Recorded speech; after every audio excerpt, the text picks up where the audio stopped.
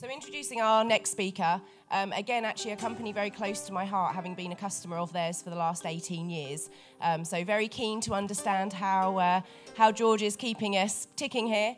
Um, so, George Guthrie graduated with a Bachelor of Science from University of Leicester. He spent his professional career working on IT projects ranging from the London 2012 Olympic Games through to supporting mobile phone networks O2's 25 million customers. Having spent the last four years in major incident management, George now manages the team within O2 that manages their critical incidents. So please offer a round of applause for George. Hi everyone. Right, let me work out how this works as I move along. Excellent. So, 9:30 a.m. It was the 3rd of August 2012 and uh, the first daily session of athletics um, at the London Olympic Games. So the whole kind of world was on kind of looking at London, the 80,000 people in the stadium, but also crucially the kind of millions watching at home and, and really the kind of almost pride of Britain where if we mess this up, it's going to be a little bit embarrassing. Um, and so at the time, I, I was working as a, a team of four who were responsible for the result systems in athletics. So that's fundamentally the traditional kind of timing and scoring blocks. So you've got, say, Usain Bolt there from the start line to the end and actually classifying those world records, classifying those winners and losers, um, through to every single place where we'd output results. So, for example, the traditional obviously one there with the scoreboard, um, but also how we kind of feed um, internet news, media, uh, commentator systems, and kind of TV graphics. So, crucially, with millions watching at home and you, you kind of stand up with a start list and you get your nice fancy start list of, um, of who's racing, what their PBs are, and results. Quite, you know, important stuff because otherwise people would be a bit blind to what's going on. 30 minutes before, so 9.30, first race uh, at 10 o'clock, uh, the TV graphic system goes dead. We're realising in 30 minutes time we're about to go live to the world and we're not going to be able to tell anyone about any of the athletes or anything that's going on. Now, looking back now, I can't, I'd never want to be in that situation again, put it that way. Um, but you realise in the importance of a major incident, just, just how crucial it is to get it fixed. You don't have time to panic. Um, you, you look back after and look at the doubts, but crucially, our, you know, our one focus was on one, getting services back, and, and two, actually trying to coordinate a plan B as to well, what's going to happen if we do fail. Um, you know, are we going to go live? Are we going to delay the start? So thankfully, you know, we all kind of put our heads together, um, worked with our teams in one room, um, and thankfully, kind of 10 minutes to go, uh, we'd, we'd adjusted some of the software.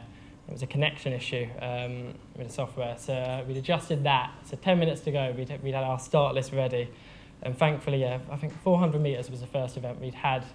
Um, we'd had TV graphics back for start lists, and um, and this was really kind of my starting point in major incident management. And, and I realized just kind of how much I enjoyed being kind of at the forefront of, of really anything that can go wrong um, and putting yourself at the front and kind of make, standing up tall and saying, you know what, we're going to fix this.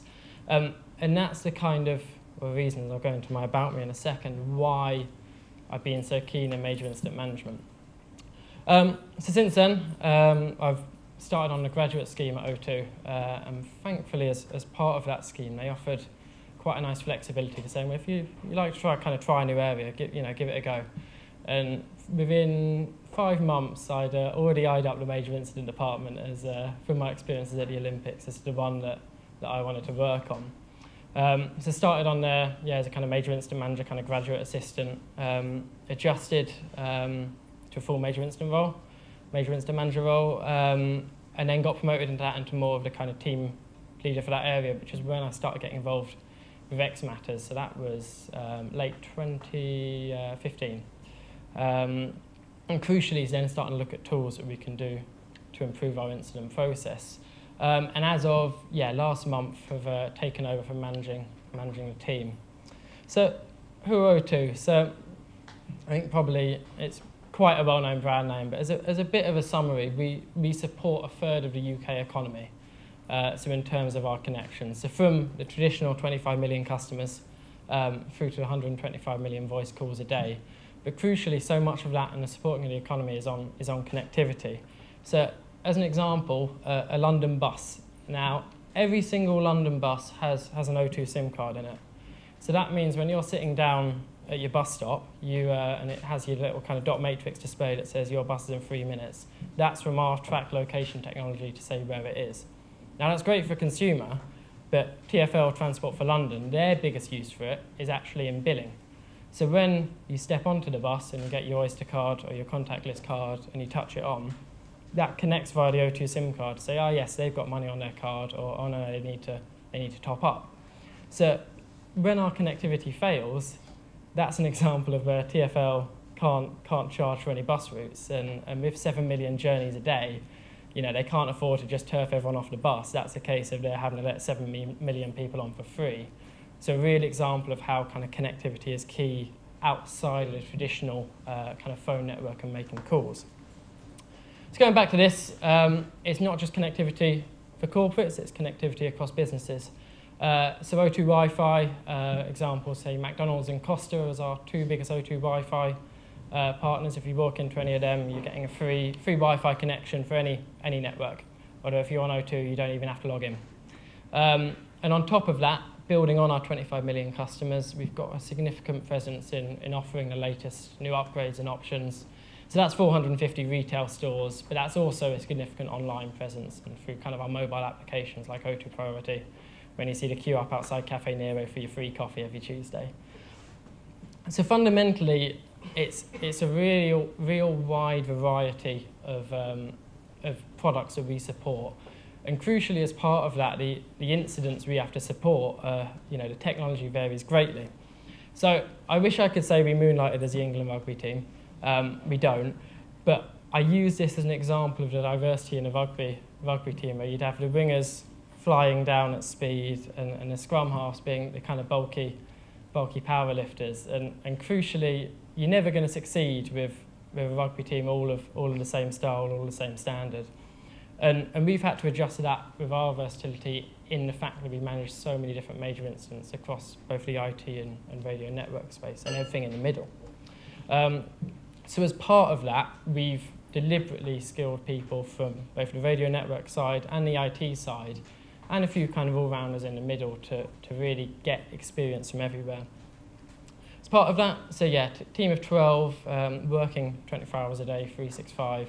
And I, I was quite shocked myself, because uh, I have the least amount of experience, but 269 years cumulative experience between the 12 team members. So they, they know back to the days of, uh, you know, old BT Cellnet transitioning all the way through.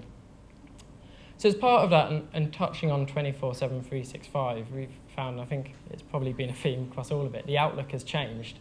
You know, we're not expecting a 9 to 5 standard world anymore, and that's why we have to adjust. Um, and an example of that, I mean, is you, you know, you're busy on your phone at work, you then go out and, as I conveniently pick the O2 Arena, you're going out to a concert, um, concert there that night, and then you're heavy, heavily data streaming uh, on there into the night.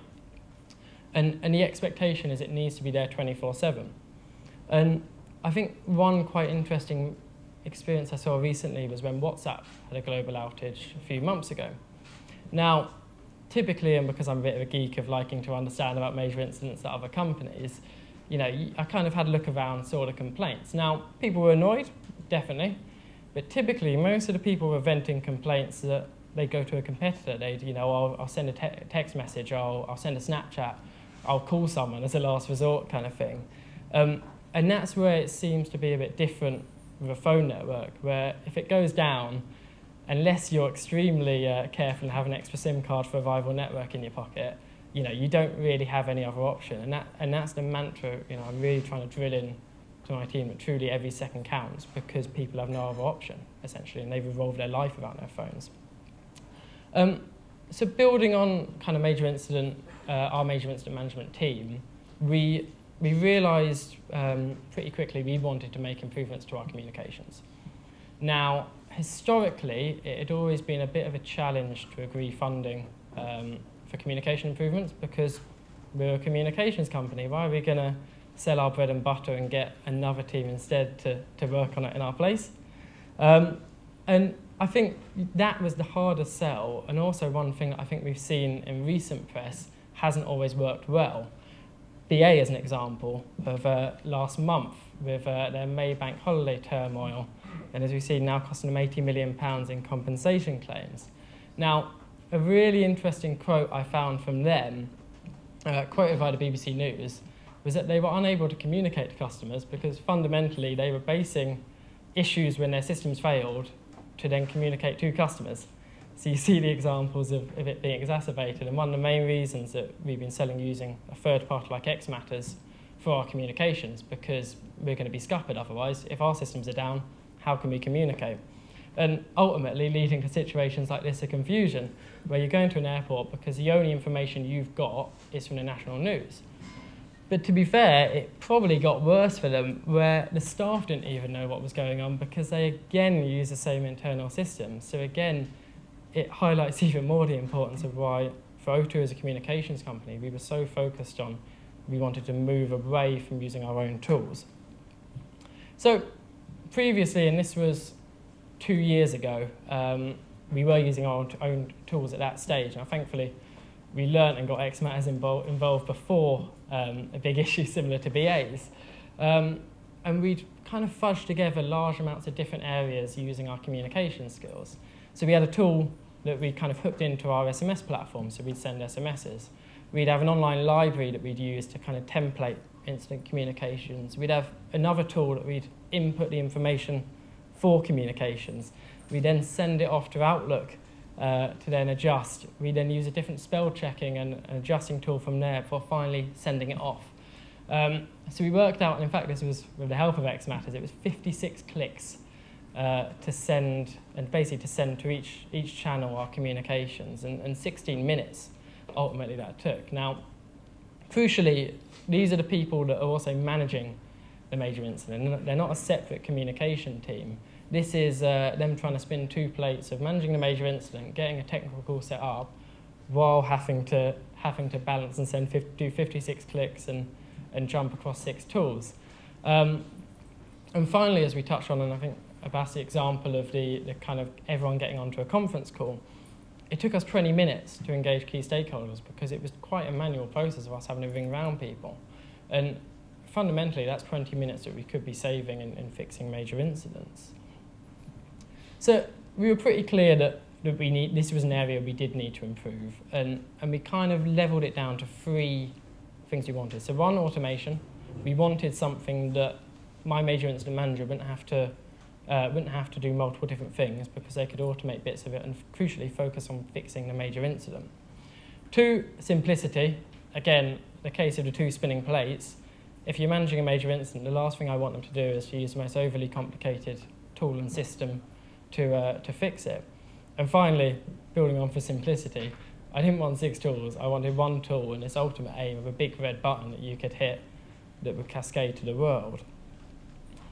So we started building out xMatters, and, and I wanted to kind of talk about the four key areas that we've really tried to look at and improve in our, in our incident communications through xMatters. So the first one is the xMatters mobile application. Now, as we've gone through the BA example, I don't want to rely on O2's communication system. So as with xMatters, you can send SMS messages. That's great until our SMS platform fails and none of our team are going to be receiving any SMSs thankfully, and again, similar with, with phone calls, it, you know, if our system fails, it's only as good as the, the last chain in, in the system. Um, so thankfully, the mobile application for xMatters takes O2 out the loop, and it means that as long as someone has Wi-Fi, they will still be notified, and we don't have to worry about any O2 influence, and if there is a failure in O2, um, them not being communicated to. And, and that's had really good take-up across the staff, up to kind of CIO level, of using the xMatters app to, um, to kind of get their latest information. Secondly, is a targeted communications, and, and this feels into the automation bit. So we previously have to send manual messages to each certain groups. Now, again, when we're trying to fix a major incident, trying to adjust multiple different tools to do that is, is a right pain in the ass. So thankfully, as part of xMatters, we, we had written scripts to, um, to essentially automate all of that. So I've got two examples of here. One of these is an internal, um, internal communication and one is an external communication that we send. Now, aside from the kind of look and feel, which is different, they're talking about the same issue. They pull across the key fields, for example, the start date and end date, but the content is very different. So here in the internal example, we talk about very specific network components that have failed, and RNCs and BSCs that aren't going to mean anything to anyone. In the, in the customer update, we talk a lot more about, well, what does that mean for the customer? How, you know, how are you going to be impacted? And crucially, what other alternatives do you have? And that differing audience is all done from us clicking that one button xMatters because xMatters will work out, ah, this property is impacted and therefore we will send to this area using, these, uh, using this uh, agreed templated content. So that's, again, a real area that we've, we've seen improvement. Uh, the third is with automatic escalation, and this is where the examples are the 20 minutes to engage, um, engage teams on a conference call. Thankfully now, and again akin to us trying to hit this big red button, we can now fire off multiple different contact routes to different teams, and crucially when they don't reply, it's only taking then our pre-configured two minutes to escalate to the next person. Finally, templates. So as part of uh, what we do, that was previously in a separate library, now we've got 200 different scenarios based in xMatters that we can pre-populate depending on the scenario. So for example, let's say the MyO2 application, which is a kind of self-service customer application that you can use to check your balance, check your data. Multiple different things can go wrong with that. And we'll have 10 different scenarios in xMatters depending on what's going wrong. So we can very quickly understand it. And it, it crucially means that my major incident manager doesn't need to be thinking of, oh, actually, it's that user experience, so I need to type in this bit. They can hit one of the 10 and they can actually focus on fixing the problem.